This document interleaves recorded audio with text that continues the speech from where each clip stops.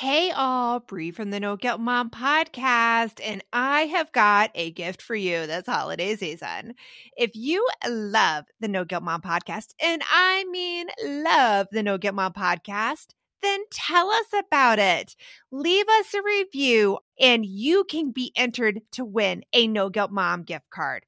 All you have to do is leave a review, take a screenshot, and then simply go to noguiltmom.com forward slash review to enter our giveaway for a free No Guilt Mom gift card simply for telling us what you think about the podcast. It is amazing. But don't delay, get right on this as we're going to be giving away that No Guilt Mom gift card on December 21st. So get right on over and visit noguiltmom.com forward slash review.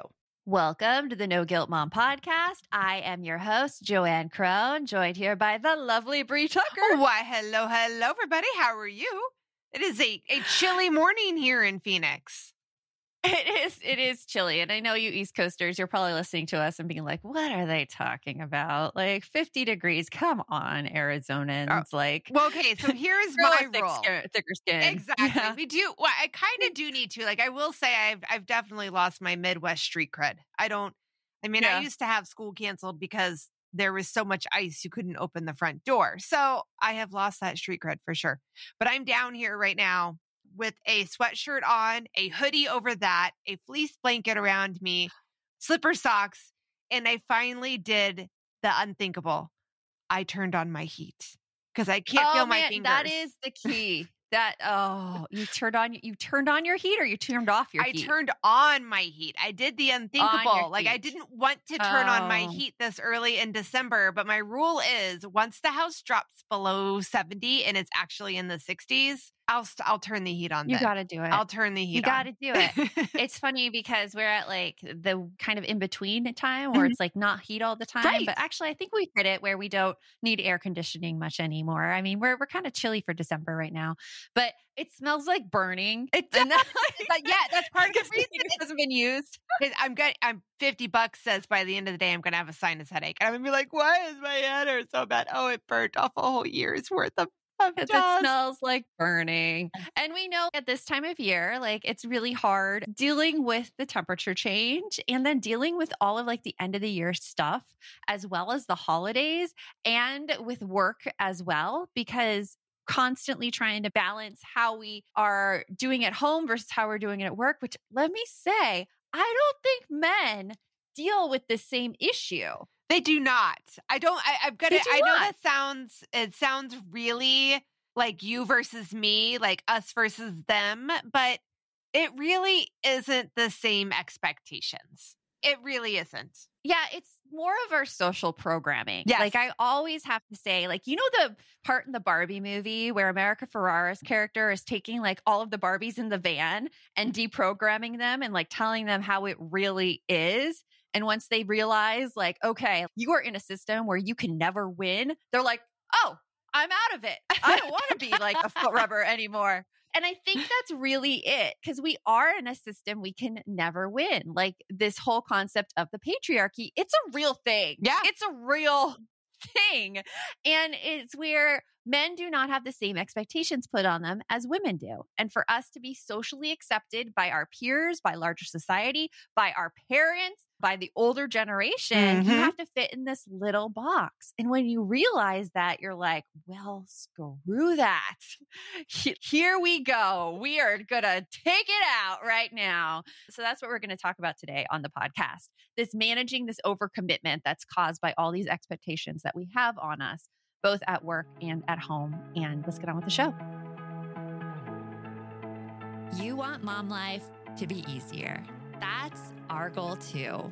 Our mission is to raise more self sufficient and independent kids, and we're going to have fun doing it. We're going to help you delegate and step back.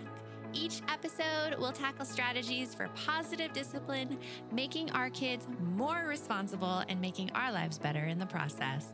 Welcome to the No Guilt Mom Podcast.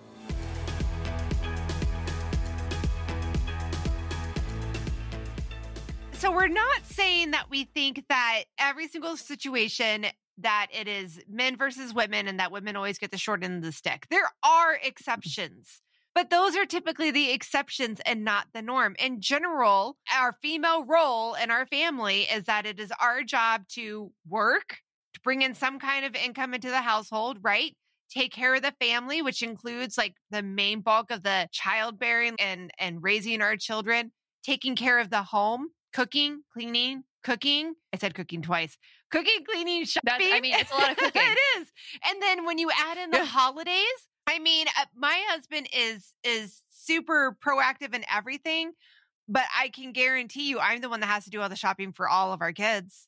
I'm going to be the one that has to do that and do all the shopping for for any gifts that go from our family to my family. Like all of that is on me. Buying the. Do we have enough wrapping paper? Do we have enough tags? Do we have enough bows? When does it have to be done so that it's ready to go when we have our next family when we have the family get together? Yeah.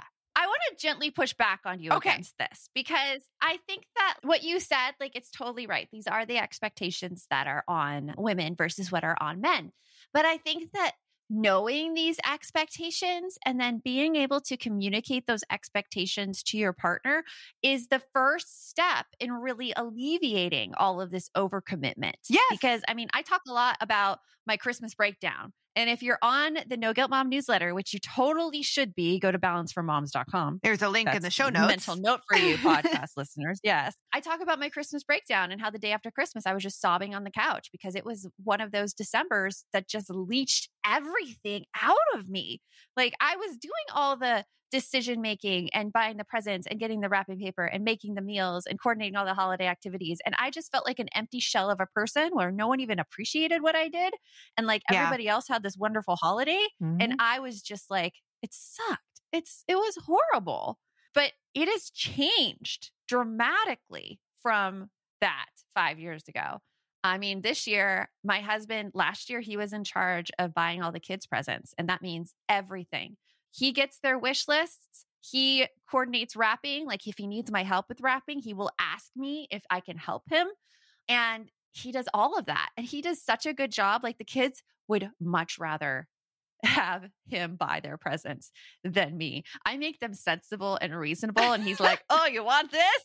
Totally. That looks cool. And it's fun. And they need that. They need the fun. Well, and I will say, like, you're right. Like, it's, I was to say, like, I guess it'd be like somewhat unfair. Normally, we'll sit down and we'll do the wrapping together, and my husband will take over the bulk of it because God bless his very, very neat persona. engineering soul. yeah. He's not an engineer either, but he has that mentality. He was, he was, and then he left that field. But yeah, like he he straightens the edges perfectly, like the bow and every. Yeah. And he even did ask me if we could get wrapping paper that matched our tree this year. So we even coordinated You wrapping see? paper to He- our tree. So he is He's taking- begging for that. Yes, so Yeah. he's stepping forward, but you're right. You can't ask for help or get out of the place where you feel like, and I, the way I describe it is where I feel like I'm drowning. I feel like I Yeah. just keep, I keep trying to get my head above water and I keep getting pushed down. So you can't get any help from that if you don't recognize all the things that you are doing. And like you just said, that you're the one who has the power to move forward with that. There Exactly. Are things you can You do have a power to change it. yeah, it takes a little And- bit of time, but you can do it. We can we can help you. It does it does take a little bit of time. It took me like 5 years to get to the place I am right now because one of the things is when you start first start talking about it, it isn't a magical switch that just goes boop, okay, everything's better now. Like I wish it was.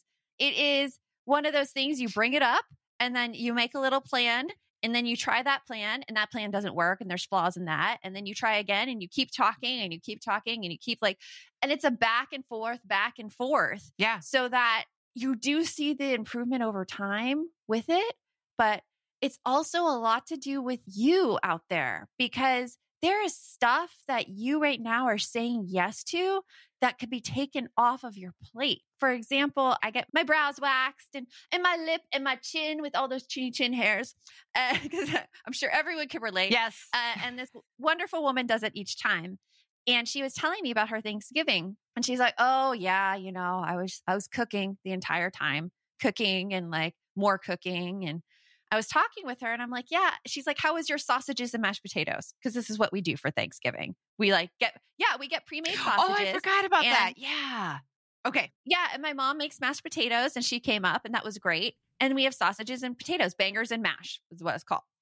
And I'm like, it was great. It was super easy. Like we weren't totally full. And she's like, yeah, I just had to cook all day. And I'm like, but yeah, I would cook all day. I mean, like, Yeah. yeah, like we're just not into that. Like, and no one eats it. And she's like, yeah, no one eats it here either. And in my head, I'm like, why you doing it? Like, why?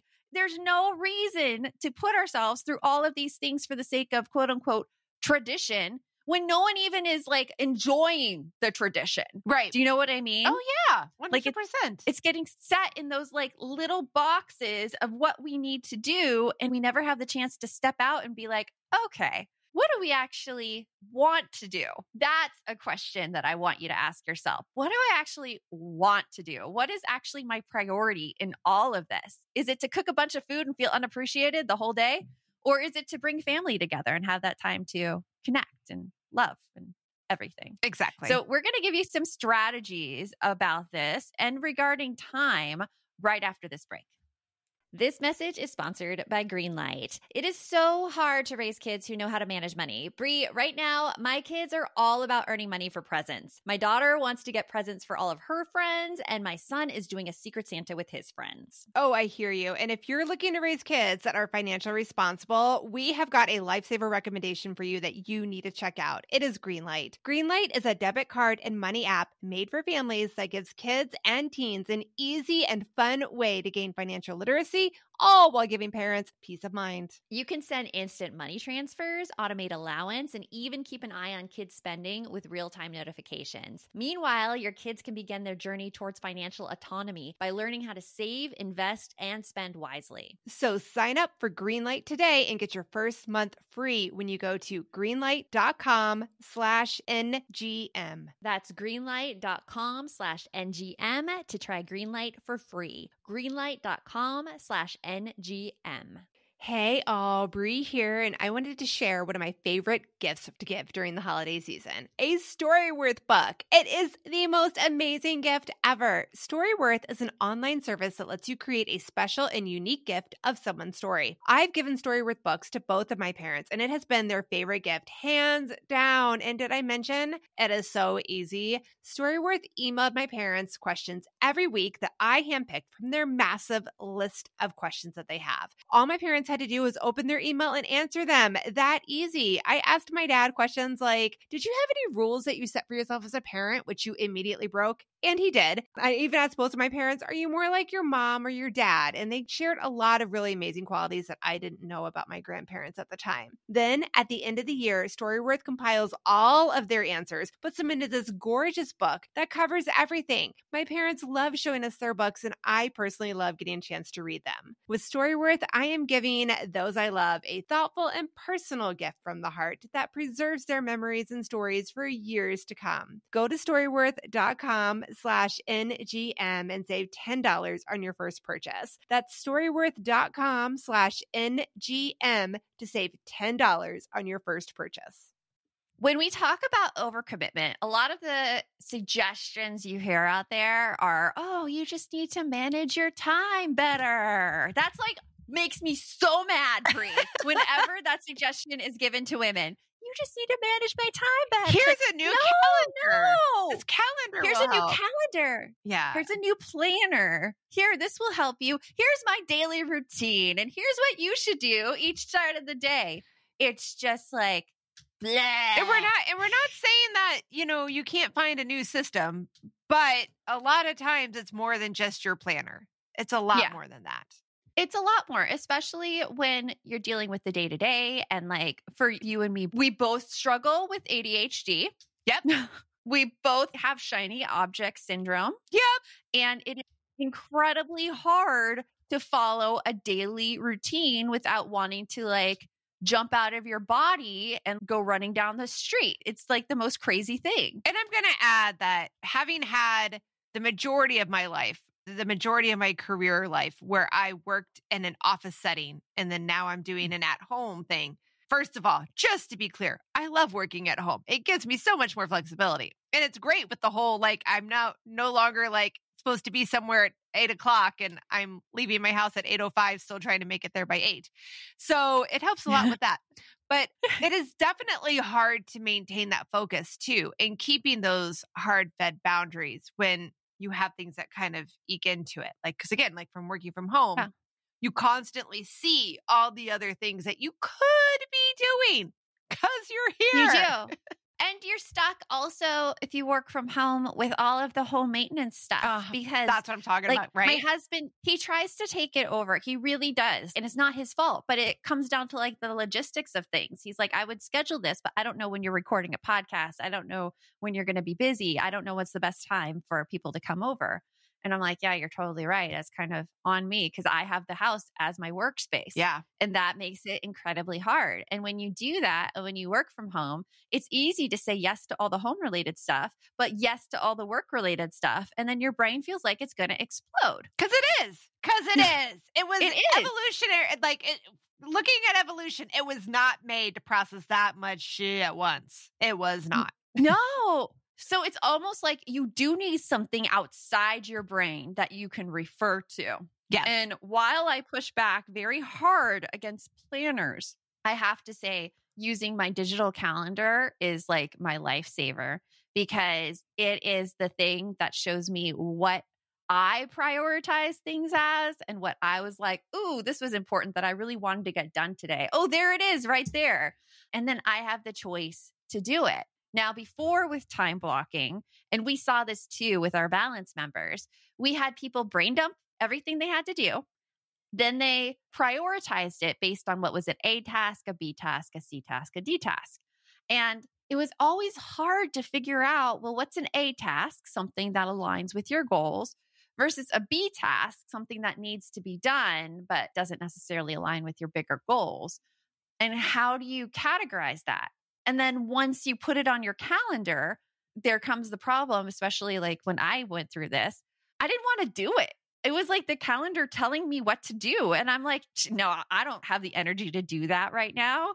Or, oh my gosh, my child just is homesick from school and is asking me like every 20 minutes to get him something. Like I can't, I can't have that on my calendar. And I think that's what a lot of moms get into I would say with time blocking. It can be. Yeah. I mean, I think with me, a lot of the problems that I have with scheduling things, like they, first of all, like anything else, it's shiny and it's new and it works for a little while. And I will say there is mm. something to be said for shiny and new, especially if your mm-hmm. brain works where it likes the shiny objects. Like there's something to be said Yes. about that. Both of ours does. Yes. Yeah. It likes the shiny objects and it's like it absolutely loves it. So you try it for a little while and it and it works for a little while.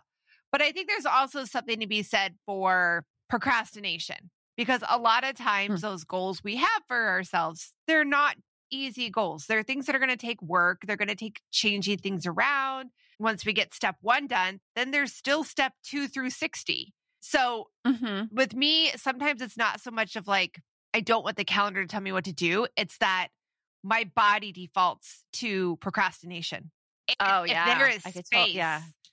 it's gonna take it. It's gonna be like, well, I know I put this on here, but technically it's not due till Thursday at noon. So if I started on Thursday at eleven, I'll be fine. I can keep pushing Yeah. off till Thursday at eleven, and then it'll be, you know, great. Yeah. Like it's ignore the fact that I have a doctor's appointment at that day and time. That sounds like a Thursday problem. exactly. And I think like I would definitely do that as well, which is why I love what we found now and what we're using is called rainbow time blocking, where your tasks and stuff aren't necessarily prioritized due to like your goals. They're prioritized based on what you can put off and what you can move easily. Uh, because it still goes through the same process, still brain dump everything, still categorize it. But now, instead, like it starts with red, where you have your A tasks, which are your appointments. Those are things with other people that you can't move easily. Right. Like it really takes some coordination to move it. Probably better off keeping that one and not having to move it. Well, that keeps your brain from doing the whole. That's a Thursday problem. That's a Thursday problem. Yeah. you the ability to look at it and be like, oh, no, that can't be a Thursday problem because then that affects XYZ. Yeah. B tasks are bottlenecks, and I make those pink. And those tell me, hey, if you don't do this task, it's going to hold up someone else from doing their task, or it's going to hold up Oh. something you want down the road.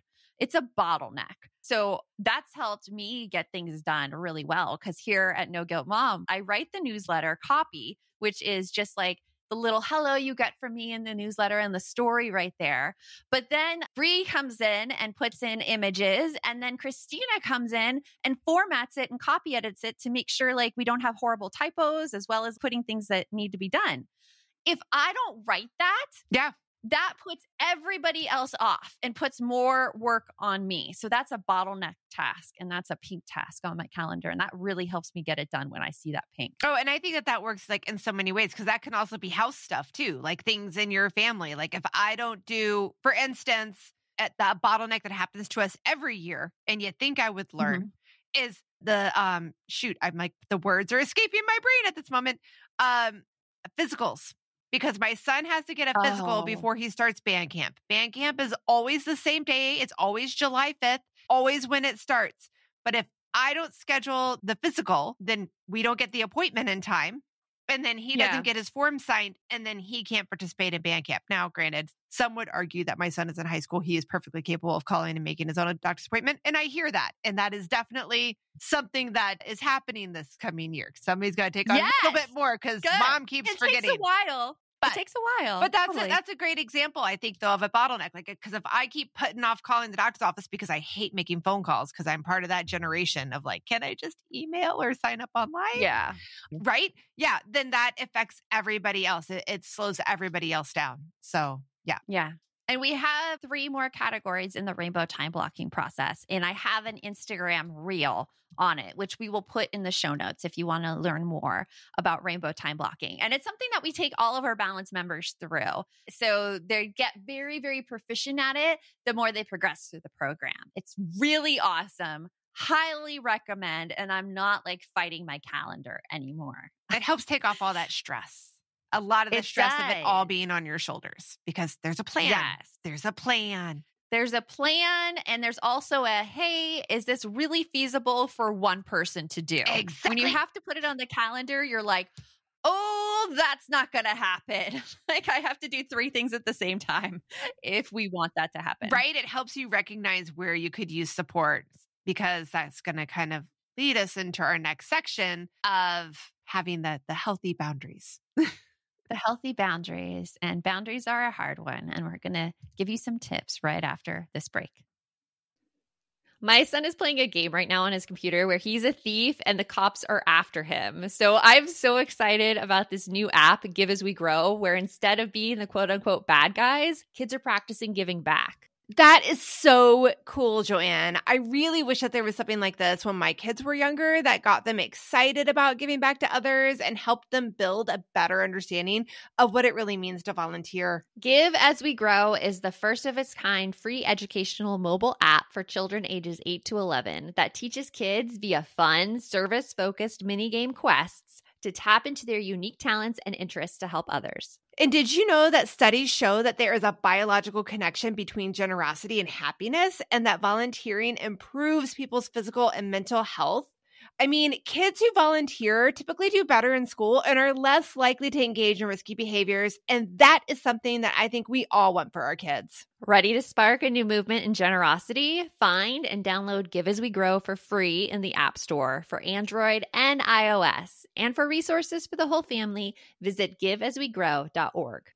We're hitting that time of year where my brain gets so overloaded in December that I look for anything to make life easier. And I have to say, Brie, that Green Chef is one of those services. Yes, Green Chef is there to take away the dreaded, oh my goodness, what are we going to eat for dinner tonight? You can eat clean all holiday long with over 80 weekly meal options each week, featuring things like quick and easy, protein packed, calorie smart, or my personal favorite, the keto options. And you don't have to lose track of healthy eating habits during the holidays because every Green Chef customer gets a free session with one of their registered dietitians who can walk walk you through how to make clean eating work for you, which is very cool. And I have to say that I have been loving their recipes lately. They put things together I have never thought of. This week we're trying the lemon basil caper pork with sauteed cauliflower, bell peppers, almonds, and feta cheese, my favorite. Their recipes make it so easy to support my wellness goals without skipping on flavor. For Green Chef's best deal of the year, get $250 off with code NGM250 at greenchef.com slash NGM250. That's greenchef.com slash NGM250. And don't forget to use that code NGM250 to get $250 off. Green Chef, the number one meal kit for eating well. So, one of the big things when we overcommit ourselves is that we say yes to so much stuff. And we say yes a lot out of a sense of obligation. Like, oh, I should do that to Mhm. be a good mom, or I should do that to make the holiday special for my children. Like, all of these things going through our heads. And we Oh. say yes, and then we regret it. Yeah, like the whole. I, I'm really torn on those, uh, and I've seen a lot of posts of these lately because we're getting into the holidays. Remember, you only get 18 Halloweens, and you only get Oh my gosh. 18 Christmases, and then like as they're getting older. In my case, I only have. If we're gonna go to 18, I only have two more Christmases, and I get that. Yes, in terms of like kind of giving yourself the perspective that it only happens so many times. But at the same time, when you are stressed, that guilt does not help. That just guilts you into having to say yes to everything again. It does. And also, like, I think those 18 Halloweens and 18 Christmas posts are based on a very limited view of parenting and a very short term view. Because True. this was brought up for me actually by my sister in law, where we were talking about parenting and she was talking about her aunt and uncle and her, like, her uncle's now relationship with his kids. And she's like, they raised these kids in a way that they were helping these kids. They were partners with these kids. They listened. They weren't authoritarian. They were more like on their side and guiding them along the way. And now she sees her cousins have this great adult relationship where they actually want to spend time with him. They want to be around him. And that is really the parenting style that we teach here at No Guilt Mom. We're not doing like an 18 and you're gone. We're making this long term relationship with our kids where they do want to be around us in the future and they do come to us and they do see us. So, in that sense, there are not 18 Christmases left. Right. There is like a maximum number because you're building a long term relationship with your kids. Yes, like a matter of fact, one of our guests, Ned Ned Johnson's been on the podcast a couple times. He did say that. I think it was in his first episode, so I'll have to add a link to that here in the show notes, where he mentioned that a lot of us look at it as our parenting, where our child is under our care, which is typically 18 years. We look at it as that is our time with our kids. But if you think about it, that's such a small sliver of their life. Like they have Yeah. they have so much more time at they're not under our direct care in their life and it, it- he just talked about how like you need to think about that when you're having a relationship with your kids like do you want it to be it's my way or the highway we do it this way no matter what because that's going to more than likely make your child be like yeah i really don't feel like yeah, i really out. yeah Peace peace, out, rather than them wanting like the example you just gave about your sister-in-law's aunt and uncle that like they don't have that bond that they could have Yeah. so Yeah, they have so they have a bond and that's like really what we're going for. So when you see that, you'll be like, "Oh my gosh, there are only two more Christmases left where I have to plan everything." And then they're going to start planning stuff and then I just get to attend. But I also awesome is that? but I also don't have to take it all on, and I don't have to make Yeah. every like honestly, like I because you you know this, and we've talked about it on the podcast, and I promise I'll make this little detour very short, but because we have great advice for you here. But in my case, having two kids in high school, one of them's a junior, I am definitely starting to feel the crunch of they're going to be gone soon, and I want to make everything this great, memorable experience. I want everything to be a Hallmark card at this point going forward Oh, because I'm like, I've got limited time. But at the same time, I have to hear where my kids are coming from. And like, honestly, my oldest, the one that's making me feel like the homework clock is like ticking down, Ticking, yeah. he's stressed. He has a lot on his schedule, being a junior, all of his honors classes that he's choosing to take, no matter how many times I've told him, like, you don't need to take all AP and honors. That's what he wants to do. He has a lot going on and he's like as much as I would love to do stuff like all the time, sometimes mom I just want to be able to relax and just chill out at home. yeah. And I'm Yeah, like, okay, that's a- so yeah, so maybe we won't be going to this winter wonderland thing together as a family because the boy needs to rest. So And the boy has boundaries. Can we say that? Yes. He's doing a really great job at that because he doesn't want to overcommit himself. is he he's saying saying no? Yes. It's a great, great thing. He does not have it in him where he has to say yes to everybody to preserve their feelings. He's like, I really need this for myself. And you see that, you're like, of course you need this for yourself. So it's really turning that now on us, being like, okay, if other people get to request that, so do we we. can request that as well. Yes. Yes. Here's the thing though, when you set a boundary, when you say no to something, you're going to want to A, walk it back. That's going to be a tendency. Because it's hard when And- people aren't happy with you. It's hard having people unhappy with you. And B, people are going to push against the boundary. They are going to so push. So you really need to have a game plan of what you're going to do because a boundary isn't about what other people do. A boundary is about what you do when the request or the action happens. So let's go into this whole thing about wanting to walk it back. Because Brie, you talk about this with Miguel. Oh, okay. Yes. I, I wasn't sure we were going on that one. All right. So, yes. All right. So, here's an example of walking it back in my house that I, I am working on. And, you know, hands up in podcast land if you've ever caught yourself doing this as well. So, I am, I, I am stressed out lately. Dinner for the last couple months has been just my hell. It has been hell because normally I'm the one that does the meal planning because I know what everybody's going to eat. I, I again taken on that mental load of knowing what everybody wants to eat. And so it's gotten to the point where I basically was like, "Hey, I need you to start taking over dinner for me because it's just it's killing me. It's far too much. I can't do it. I'm really stressed out." And so he has set nights that he cooks, but then my request came in and he's like, "All right, tell you what, next week I've got a light week. I'll do dinner every night." And I'm like, "Oh my god. That's like oh, it's like heaven." Oh, yeah. sounded amazing, right? And then Yeah. the first night comes along and he's like, So what do you think you want for dinner? And then I'm like frustrated because I'm like, Oh, I wanted you to take on like all of it.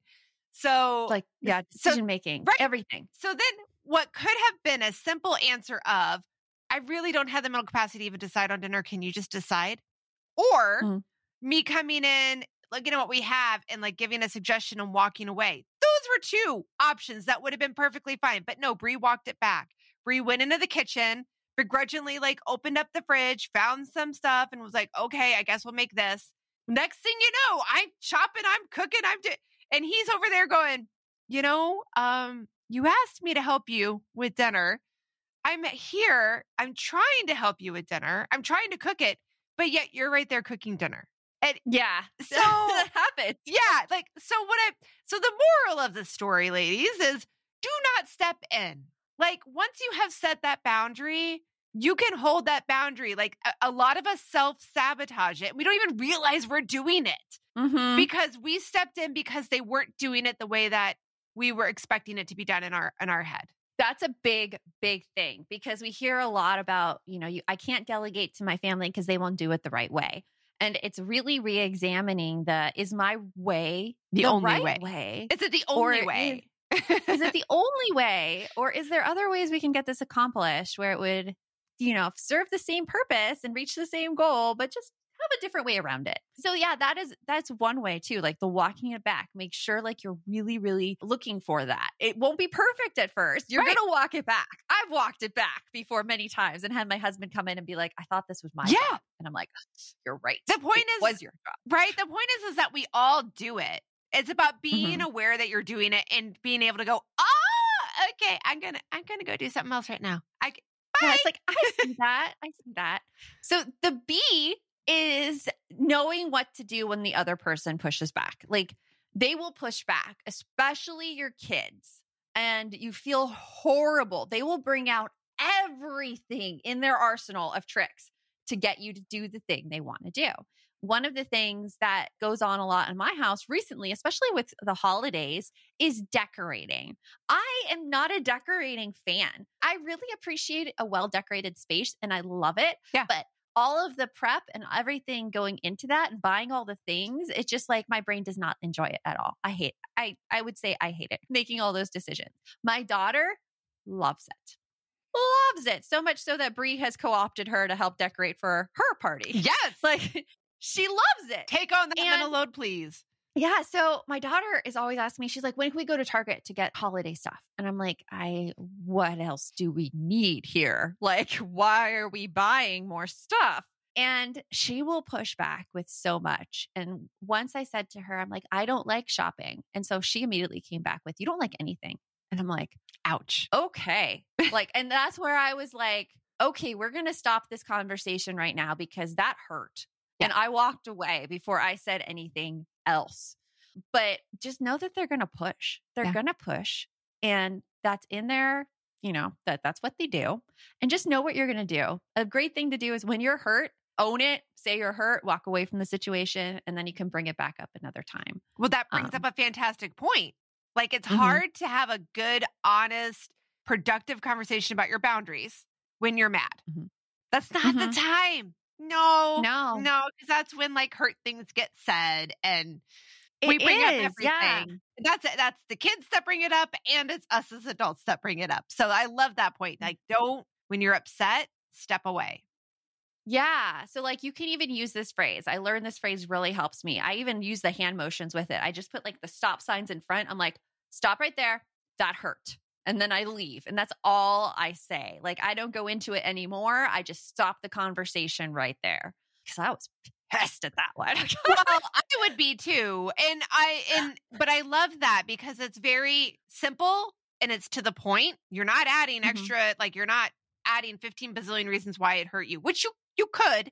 But in the moment when emotions are high, we're not really processing a lot of language either Yeah. parties. And so and I feel like it wouldn't even be listened to. Like, they Right. wouldn't hear it in that moment because she said that because she was hurt that I wouldn't go holiday shopping. Yeah. That I said I didn't like it. And that's why she says her comment. She didn't mean anything against it. It was a hurt comment coming from her. Well, the simplicity of that reminds me of my other phase that if you or other phase, other phrase you probably have heard me talk about on the podcast. I like to use, and we got I got this one from Dodie Bloomberg, who was also on the podcast, one of our like first five episodes. We Mhm. had Dodie uh, here for positive discipline. But I love you and no. Like I have Yeah. to use that one a lot with my daughter because she's the one who yeah, I don't think we can do that. But why not? But why? Mommy, I love you. Can't, and this is from a, a almost 16 year old. she knows Mhm. how to, eh.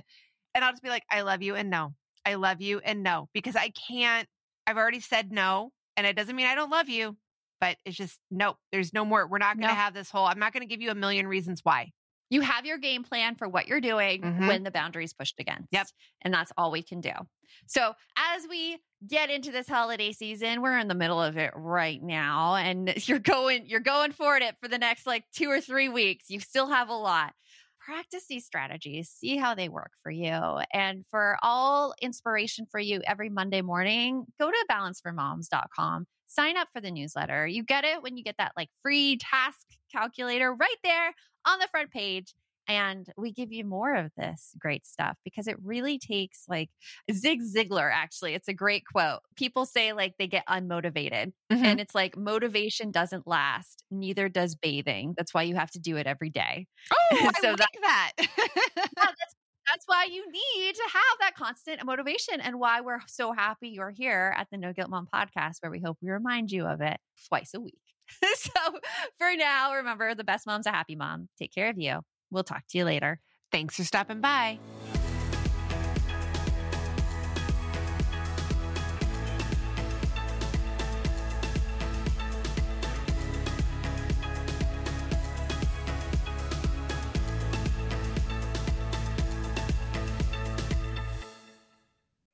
Are you looking for something to listen to with your whole family? Then check out Six Minutes, produced and created by Gen Z Media. With over 200 twisty, cliffhanger filled episodes, Six Minutes tells the story of 11 year old Holiday who was pulled from the icy waters with no memory of who she is or where she came from. Three years ago, Brinley Pasternak helped the Anders family uncover the truth about Holiday's past. Now she'll need them to help her find the truth about hers. In Six Minutes Out of Time, the long awaited sequel, Cyrus Anders is found unconscious near the mysterious Elixir Academy in Florida, and Brinley learns the school may have a shocking connection to her missing mother. Dive in now and get the most downloaded family audio adventure in history. Follow Six Minutes wherever you get your podcasts. You can listen early and ad free with the GZM family subscription.